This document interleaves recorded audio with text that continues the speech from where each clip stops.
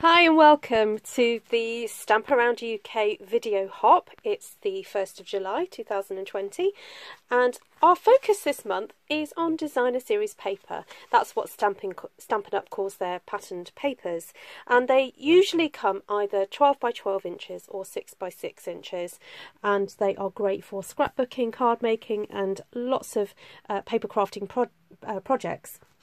Now most of the papers are lovely and thick so that they are quite sturdy. So if you're making like bags or um, you know, making little gift bags, that type of thing, they are really sturdy and hold up. So I've used this as a bit of a stash busting exercise. I've got three different papers here that I'm using. I'm using Forever Greenery, the In Good Taste papers, which have got a lovely selection of different textures. And the Christmas time is here uh, pack that is still available. It became available at the end of last year and it's such a gorgeous collection of florals and Christmas kind of designs. I'll just show you the back of those.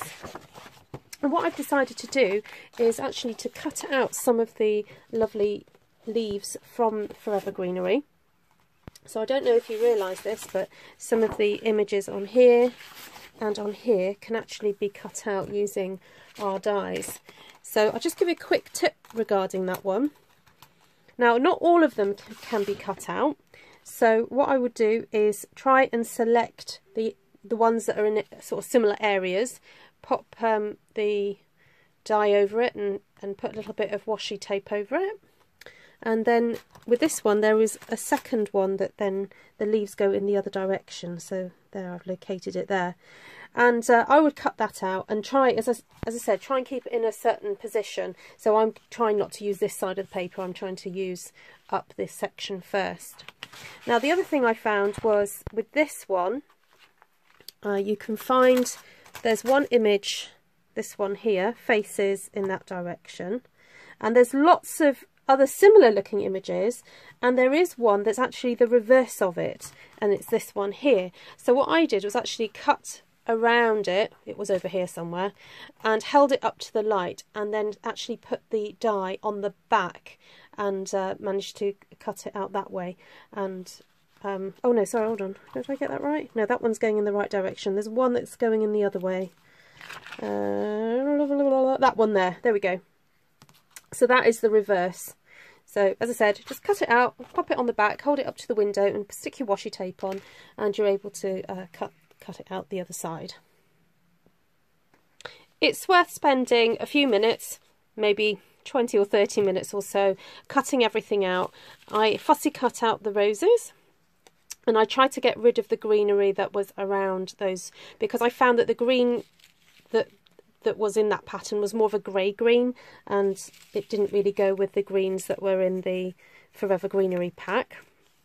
I even also cut out some of the roses that are on the side because we can hide this flat section behind another one.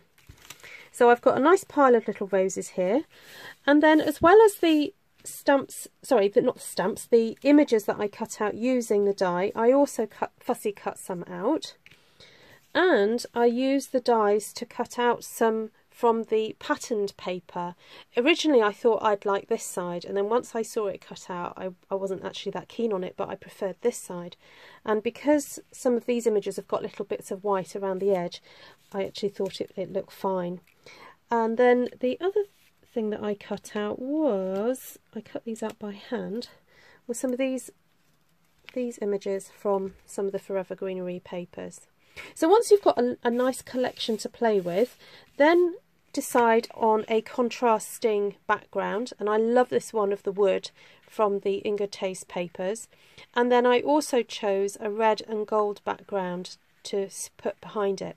Now I've been a little bit frugal. I've cut out the middle so that I've got that whole piece there to use on another project. So I'm going to be sticking that onto there with with a bunch of roses in the middle and then some leaves around it. So for this next section, I'm going to speed it up uh, so that um, you can see the process a bit quicker.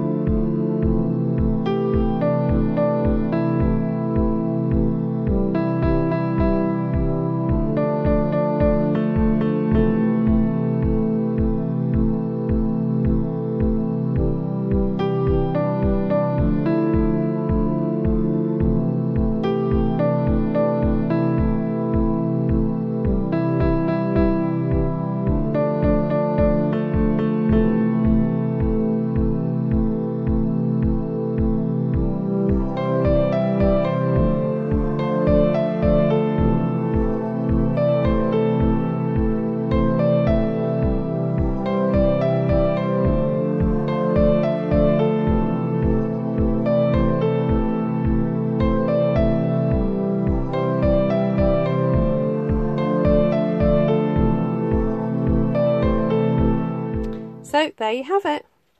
A card made all from designer series paper, not a stamp in sight.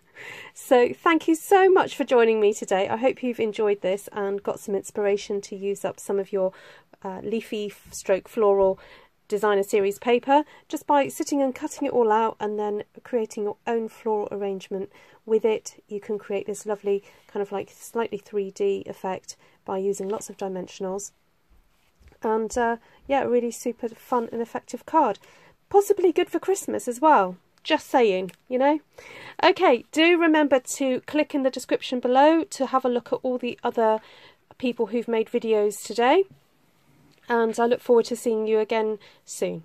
Lots of love. Bye.